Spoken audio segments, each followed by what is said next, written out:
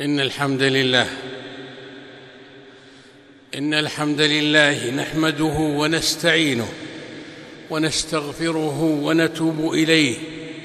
ونعوذ بالله من شرور أنفسنا وسيئات أعمالنا. من يهده الله فلا مضل له ومن يضلل فلا هادي له. وأشهد أن لا إله إلا الله وحده لا شريك له.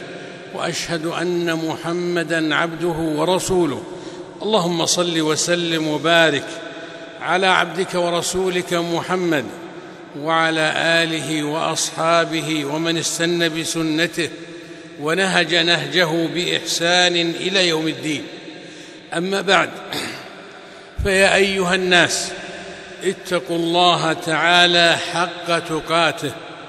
وسابقوا وبادروا إلى موجبات مغفرته ومرضاته ودخول علي جناته واحذروا من أسباب سخطه وأليم عقوباته والخلود في عذاب جهنم في أسفل دركاته.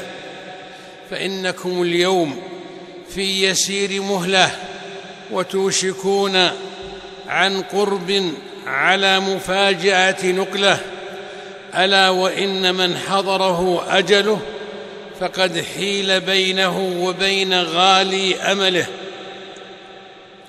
وآن آوان انقطاع عمله ولن يؤخر الله نفسا إذا جاء أجلها. والله خبير بما تعملون. عباد الله لقد قال ربنا جل وعلا في أصدق القيل ومحكم التنزيل محذرا عباده من دعاة على أبواب جهنم من أطاعهم قذفوه فيها. قال تعالى وكذلك جعلنا لكل نبي عدوا شياطين الإنس والجن يوحي بعضهم إلى بعض زخرف القول غرورا. ولو شاء ربك ما فعلوه فذرهم وما يفترون وقال تعالى وكذلك جعلنا لكل نبي عدوا من المجرمين وكفى بربك هاديا ونصيرا وقال جل ذكره وكذلك جعلنا في كل قرية أكابر مجرميها ليمكروا فيها وما يمكرون إلا بأنفسهم وما يشعرون. ومفاد ذلكم عباد الله أنه قد سبق في علم الله جل وعلا أنه سيكون في مستقبل الزمان كما كان في ماضيه في كثير من الأزمان والأوطان. شياطين ضلاله واضلال من الانس والجن يقعدون على جنبات صراط الله المستقيم ودينه القويم وهدي رسوله الكريم عليه من ربه أفضل الصلاة وأزكى التسليم ليضلوا كثيرين من الخلق عن الحق بزعم النصيحة وأنهم على حق ويؤكدون أقوالهم بجهد الأيمان كما زين ذلك الشيطان للأبوين عليهما السلام بالإغراء بالأكل من الشجرة التي نهي عنها. ويؤيد أولئك الآفاكون ما يدعون إليه من الضلالة بما يأخذونه من موافقة مشاهير من أعيان من تآمروا في زمانهم من جاهل دعي على العلم أو عالم ذي غفلة وبلادة وغبن أو منافق عليم اللسان ناقص عقل أو فاسد قلب ليضل الناس بزخرف ومتشابه القول. عن نور الكتاب المنزل وهدي النبي محمد صلى الله عليه وسلم المرسل. وعما كان عليه حواري النبي صلى الله عليه وسلم وأصحابه الذين هم الطراز الأول ليفسدوا على الناس دينهم بوساوس إبليس وشبهات كل ملحد خسيس أو زلة عالم دفنت في بطون القراطيس فيظهروا وساوس الشيطان ويتشبثوا بشبهات كل منافق فتان ويغر العوام بمن زل من أهل القرآن ليحققوا ما أخبر الله تعالى عنه بقوله يريدون ليطفئوا نور الله بأفواههم والله متم نوره ولو كره الكافرون هو الذي أرسل رسوله بالهدى ودين الحق ليظهره على الدين كله. ولو كره المشركون. أيها الناس إن, إن من جملة إن من جملة من يدخل في عموم من حذر الله تعالى منهم. فيما سمعتم من أصدق القيل ومحكم التنزيل. قوم ائتمروا وتآمروا في أحضان دولة الإلحاد ومشرق الفتنة وبتحريك من زنادقة الصوفية المشركين بل والكافرين بتوحيد رب البرية وتحت راية أفراخ الفلاسفة والجهميه ليلبسوا على الناس دينهم ويصرفوهم عما كان عليه سلف الأمة الصالح إليهم حيث ادعوا حيث ادعوا زورا وبهتانا أنهم أي المؤتمرون هم أهل السنة ومن سواهم مفارق للسنة والجماعة ومن طوائف ظلال الأمة وليس ذلك وليس ذلك من الحق في شيء إلى غير ذلكم. إلى غير ذلكم من العبارات الدالة على نفاق مكين وحقد دفين وكيد مكشوف لإضلال الأمة في هذا الزمان عن هدي القرآن الحكيم وعن هدى القرآن الحكيم وهدي النبي الكريم صلى الله عليه وسلم الذي أوتي جوامع الكلم وأوضح البيان وعما كان عليه أتباعه صلى الله عليه وسلم من أئمة الصحابة من آل رضي الله عنهم من آل البيت الطيبين المكرمين وسادات المهاجرين السابقين الأولين وأعيان الأنصار الذين تبوأوا الدار والإيمان من قبلهم رضي الله عن الجميع وهم المثنى عليهم والمشهود لجملتهم بالجنة في محكم القرآن. فهؤلاء هم أهل السنة الحقيقيون وهكذا من اتبعهم على هداهم إلى يوم يبعثون بدلالة الكتاب والسنة وإجماع السلف الصالح من الأمة. لا بالدعاوى العريضه ولا بزخرف القول ولا بتزكية المبطلين من كل منافق فتان ودعي للإيمان. أيها المسلمون إن الله جل وعلا قد أثنى على سلف هذه الأمة الصالح بقوله جل وعلا ممتنا عليهم ببعثة النبي صلى الله عليه وسلم هو الذي بعث في الأميين رسولا منهم يتلو عليهم آياته ويزكيهم ويعلمهم الكتاب والحكمة وإن كانوا من قبل لفي ضلال مبين. ثم أثنى سبحانه على من اتبعهم على هداهم بإحسان بقوله وآخرين منهم لما يلحقوا بهم وهو العزيز الحكيم. ذلك فضل الله يؤتيه من يشاء والله ذو الفضل العظيم. وقال سبحانه والسابقون الأولون من المهاجرين والأنصار والذين اتبعوهم بإحسان رضي الله عنهم ورضوا عنه. وأعد لهم جنات تجري تحتها الأنهار خالدين فيها أبدا. ذلك الفوز العظيم. أيها المسلمون ولقد صح عن النبي صلى الله عليه وسلم قوله عليكم بسنتي وسنة الخلفاء الراشدين المهديين من بعدي عضوا عليها بالنواجذ وإياكم ومحدثات الأمور فإن كل محدثة بدعة وكل بدعة ضلالة وكل ضلالة في النار.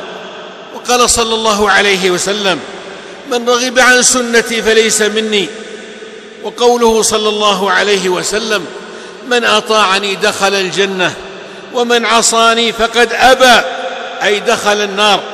وقوله صلى الله عليه وسلم مخبرا عن افتراق الأمة. خير أمتي قرني ثم الذين يلونهم ثم الذين يلونهم ثم تحدث من بعدهم خلوف. يقولون ما لا يفعلون ويفعلون ما لا يؤمرون. قوله صلى الله عليه وسلم عن فرق الأمة. كلها في النار إلا واحدة. قيل من هم يا رسول الله؟ قال من كان على مثل ما أنا عليه اليوم وأصحابي. وقال صلى الله عليه وسلم إن هذا الدين بدأ غريبا وسيعود غريبا كما بدأ فطوبى للغرباء. وقد جاء تفسير الغرباء بأنهم الذين يصلحون عند فساد الناس أو يصلحون ما أفسد الناس. والمعنى أن التابعين للنبي صلى الله عليه وسلم وأصحابه يلزمون هدي هدى الكتاب والسنة ويحذرون مخالفتهما ويحذرون ممن خالفهما وقال وتعبد بغير هديهما فالمتمسكون بالكتاب والسنة وما عليه السلف الصالح من الأمة هم أهل السنة والجماعة لا ما يقوله الأدعياء الاتون في آخر الزمان في أعقاب الزمن وفي زمن الفتن؟ والمؤتمرون المتآمرون في أحضان دولة الإلحاد ومشرق الفتنة. كبرت كلمة تخرج من أفواههم إن يقولون إلا كذبا.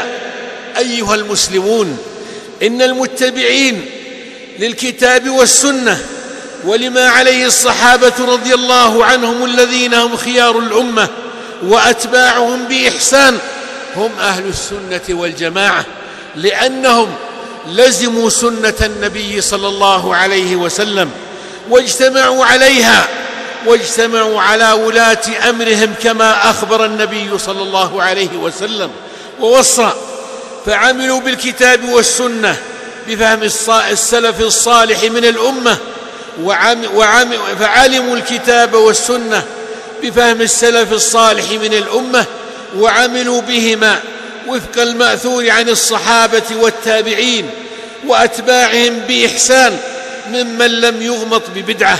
أولئك هم أهل السنة والجماعة تعريفا وواقعا ومنهاجا وحالا. لا بالدعاوى ولا ببهرج القول. ولا بكثرة الأنصار ولا بالاستنصار بالملاحدة الكفار. معاشر المسلمين قال الله تعالى آمن الرسول بما أنزل إليه من ربه والمؤمنون كل آمن بالله وملائكته وكتبه ورسله. لا نفرق بين أحد من رسله وقالوا سمعنا وأطعنا غفرانك ربنا وإليك المصير. قال صلى الله عليه وسلم الإيمان أن تؤمن بالله وملائكته وكتبه ورسله وباليوم الآخر وبالقدر خيره وشره وفي رواية وبلقاء الله تعالى وبالجنة والنار فمن آمن بهذه الأمور فهو المؤمن ومن عمل بقوله صلى الله عليه وسلم الإسلام أن تشهد أن لا إله إلا الله وأن محمدا رسول الله وتقيم الصلاة المكتوبة وتؤدي الزكاة المفروضة وتصوم رمضان وتحج البيت الحرام. من عمل على الكتاب والسنة بهذا فهو المؤمن المسلم وهؤلاء هم الجماعة هم جماعة المسلمين. قال صلى الله عليه وسلم في تعريف الطائفة الناجية من الفتنة المنصور ومن النار والمنصورة بالحق الظاهرة إلى يوم القيامة. هم من كان على مثل ما أنا عليه اليوم وأصحابي فمن آمن بما أنزل على الرسول صلى الله عليه وسلم من ربه وتأسى بالنبي صلى الله عليه وسلم فاتبعه على هديه وسنته ولزم ما عليه خيار الأمة الذين هم أصحابه من المهاجرين والأنصار. وأهل بيته فهؤلاء هم أهل السنة والسابقون الأولون من المهاجرين والأنصار والذين اتبعوهم بإحسان رضي الله عنهم ورضوا عنه فهم أهل الجنة فهم أهل السنة وهم الموعودون بالجنة. أما من خالف صريح القرآن ولم يقبل ما جاء عن النبي صلى الله عليه وسلم لما أنزل إليه من ربه بالبيان ولم يتبع المهاجرين والأنصار بإحسان فليس من أهل السنة وإن ادعاها وليس من الجماعة وإن زعمها بل هو من الهالكين الهالكين في النار. قال تعالى ومن يشاقق الرسول من بعد ما تبين له الهدى ويتبع غير سبيل المؤمنين نوله ما تولى ونصله جهنم وساءت مصيرا. بارك الله لي ولكم في القرآن ونفعنا بما أنزل فيه وله من الهدى والبيان. أقول قولي هذا وأستغفر الله العظيم الجليل لي ولكم ولوالدينا وأزواجنا ومشايخنا وذرياتنا والمؤمنين والمؤمنات والمسلمين والمسلمات الأحياء منهم والأموات. فاستغفروه يغفر لهم فاستغفروه يغفر لكم إنه هو الغفور الرحيم. الحمد لله على إحسانه. والشكر له على توفيقه وامتنانه وأشهد أن لا إله إلا الله وحده لا شريك له تعظيما لشأنه وأشهد أن محمدا صلى الله عليه وسلم عبد الله ورسوله الداعي إلى رضوانه صلى الله وسلم وبارك عليه وعلى آله وأصحابه وإخوانه. أما بعد فيا أيها الناس اتقوا الله تعالى حق التقوى واستمسكوا من الإسلام العروة الوثقى واحذروا أسباب سخط الجبار فإن أجسامكم على النار لا تقوى وتدبروا كتاب الله تعالى وسنة نبيه صلى الله عليه وسلم. وما كان عليه السلف الصالح من الأمة لأجل أن تكونوا على بينة من دينكم ولأجل أن لا يضلكم أن لا تضلكم شياطين الإنس والجن في كل زمان ومكان.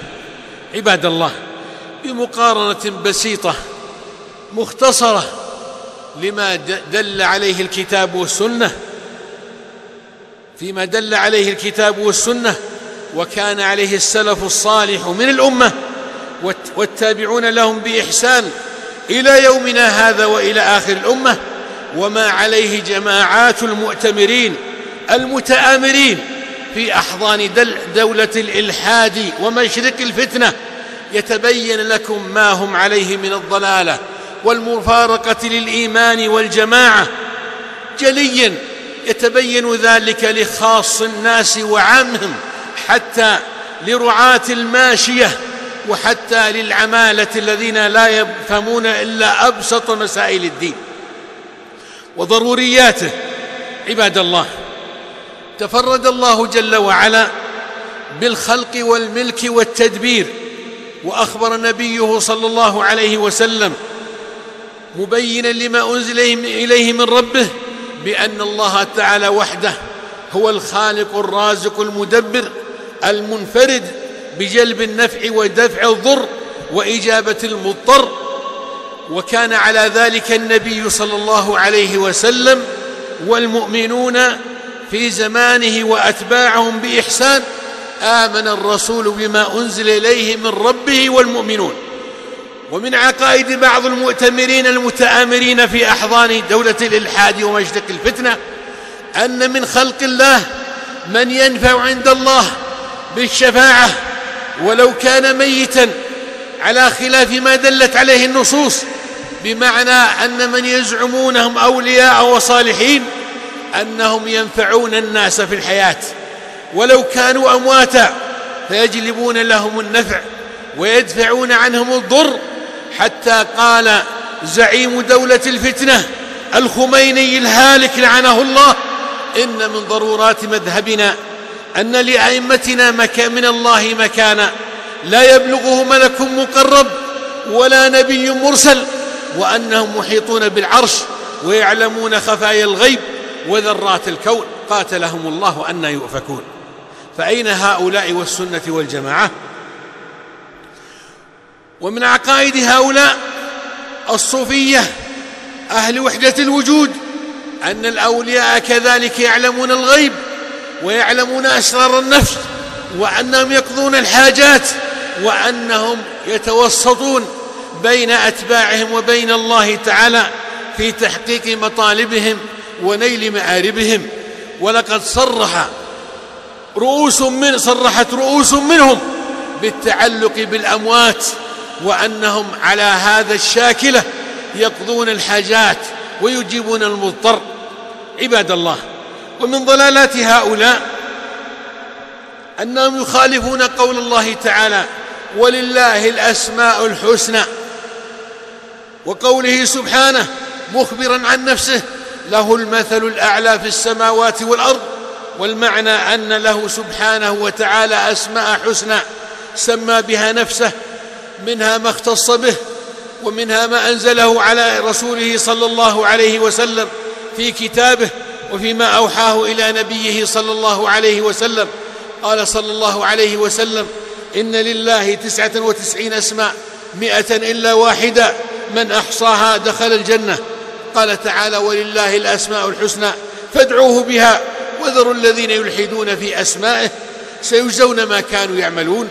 ومن هؤلاء هؤلاء المؤتمرين المتآمرين من ينفي الأسماء الحسنى عن الله عز وجل وينفي الصفات العلى عن الله عز وجل حتى أنه يؤمن برب لا وجود له إلا في الأذهان لا في الأعيان لأنه إذا نفى عن الله كل اسم سمى به نفسه وكل وصف وصف به نفسه فإنه معناه أنه ينفي وجود الله جل وعلا أصلا. وتلك عقيدة لهؤلاء توارثوها عن أسلافهم مأخوذة من اليهود والنصارى والصابئين وغيرهم. عباد الله ومن ضلالات هؤلاء أن الله عز وجل يخبر عن نفسه فيقول ويبقى وجه ربك ذو الجلال والإكرام ويقول النبي صلى الله عليه وسلم إن الله تعالى ينصب وجهه قبل عبده إذا كان في الصلاة ويقول صلى الله عليه وسلم مرشدا من يدخل المسجد أو يخرج منه أعوذ بالله العظيم وبوجهه الكريم. وهؤلاء ينفون أن يكون لله تعالى وجها ويفسرون الوجه بالجهة. قاتلهم الله أنا يؤفكون. تلكم عقيدة من عقائد هؤلاء المؤتمرين المتآمرين الباطلة التي ورثوها عن أسلافهم. وعن ظلال الأمم من قبلهم. عباد الله يخبر الله تعالى عن نفسه. موبخا إبليس فيقول ما منعك أن تسجد لما خلقت بيدي؟ ويقول سبحانه عن نفسه بل يداه مبسوطتان. ويخبر النبي صلى الله عليه وسلم أن الله تعالى بيده القسط يخفضه ويرفعه وأن الله تعالى خلق جنة عدن بيده وخلق آدم بيده وكتب التوراة بيده ويقول هؤلاء ليس لله يد وإنما المراد باليد النعمة أو القدرة قاتلهم الله أن يؤفكون. ومما عليه بعض هؤلاء المؤتمرين المتآمرين أنهم ينفون عن الله تعالى العين ويقولون المراد بالعين العلم. والله تعالى يقول والله تعالى يقول ولتصنع على عيني ويقول النبي صلى الله عليه وسلم إن ربكم تعالى ليس بأعور ويخبر الله جل وعلا عن نفسه بالعين في آيات محكمة وعلى لسان نبيه صلى الله عليه وسلم في أحاديث صحيحة وهؤلاء ينكرون وصف الله تعالى بالعين. كذلكم فإن الله عز وجل أخبر عن أعظم نعيم المؤمنين يوم القيامة في عرصات القيامة وفي الجنة بأنهم يرون الله جل وعلا. فقال تعالى وجوه يومئذ ناظرة إلى ربها ناظرة. وجاء عن النبي صلى الله عليه وسلم في تفسير قوله تعالى للذين أحسنوا الحسنى وزيادة أن الزيادة هي النظر إلى وجه الله الكريم ومن عقائد هؤلاء المؤتمرين المتآمرين أن الله تعالى لا يرى. وهكذا يخبر الله جل وعلا في سبع آيات محكمات أنه استوى على العرش ويخبر النبي صلى الله عليه وسلم عن ربه أن الله تعالى على العرش. وهؤلاء منهم من ينكر استواء على الله الله على العرش ويقول كان كان ولا مكان وهو على ما كان. تعالى الله تعالى عما يقول الظالمون علوا كبيرا. عباد الله ومما عليه النبي صلى الله عليه وسلم وأصحابه رضي الله عنهم والتابعون لهم بإحسان إثبات الحكمة لله جل وعلا وأن الله تعالى يخلق لحكمة ويدبر لحكمة ويشرع لحكمة ويجزي لحكمة وهؤلاء من عقائدهم أن الله تعالى منزه عن الحكمة زعموا لأنهم يقولون الحكمة نوع حاجة والله تعالى منزه عن الحاجة وإنما الحكمة وضع الشيء موضعه اللائق, اللائق به بحيث لا يصلح غيره مكانه وهذه الحكمة هي التي يوصف بها الله عز وجل فإنه الحكيم العليم وإنه ذو الحكمة له الحكمة البالغة إلى غير ذلك. وأخبر النبي صلى الله عليه وسلم عن حكمة ربه وآمن الرسول صلى الله عليه وسلم بما أنزل إليه من ربه بكل ما سمعتم وغيره مما دل عليه الكتاب والسنة. عباد الله ومن عقائد بعض هؤلاء المؤتمرين المتآمرين أن الله عز وجل يخبر عن نفسه أنه الرحمن الرحيم وأنه يرحم من يشاء وأنه الغفور ذو الرحمة وهم ينفون عن الله عز وجل الرحمة ويفسرونها بإرادة الإنعام إلى غير ذلك من التفسيرات الباطلة. وهكذا يضل هؤلاء ويريدون أن يضل الناس تبعا لهم وأن يأخذوا بضلالتهم. بل من عقائدهم الباطلة أن الله عز وجل ليست له المشيئة التامة بل يكون في ملكه. ومن عباده تعالى الله وتقدس ما لا يشاء وأن العاصي عصى الله عز وجل بغير علمه وبغير مشيئته وأن معصيته خارجة عن خلق الله تعالى وعن علمه وملكه فالعبد هو الذي خلق عمله. تعالى الله عما يقولون علوا كبيرا. وهكذا أيضا ينفون عن الله القدرة وأنه يكون في ملك الله تعالى ما لا يشاء وما لم يخلقه وأن قدرة العبد غلبت قدرة الله. تعالى الله عما يصفون. سبحان ربك رب العزة عما يصفون وسلام على المرسلين. فكل ما سمعتم النبي صلى الله عليه وسلم بلغه عن ربه جل وعلا من الأسماء والصفات وبينها في ما ثبت عنه من الأحاديث الصحيحات. وآمن الصحابة رضي الله عنهم والتابعون لهم بإحسان بذلك كله. حيث لم ينقل عنهم حرف واحد يخالف ما دل عليه ظاهر القرآن والسنة مما يدل على موافقتهم واعتقادهم لما بما بما أنزل إلى النبي صلى الله عليه وسلم من ربه. فاحذروا عباد الله هؤلاء الضلال الهالكين الذين يزينون عقائد الضالين ويزرعونها وينشرونها بين المسلمين ويأتمرون ويتآمرون. لإضلال المسلمين عن هدي الكتاب والسنة اتباعا للشياطين وسلوكا لمسلك الغاوين وليكثروا وليكثروا أهل جهنم معهم. فاتقوا الله عباد الله واصدروا في عقيدتكم ودينكم عن كتاب الله تعالى وسنة نبيه صلى الله عليه وسلم وعما كان عليه السلف الصالح فأي علم لم يكن من علم السلف الصالح مما شرعه الله عز وجل فلا تعلموه.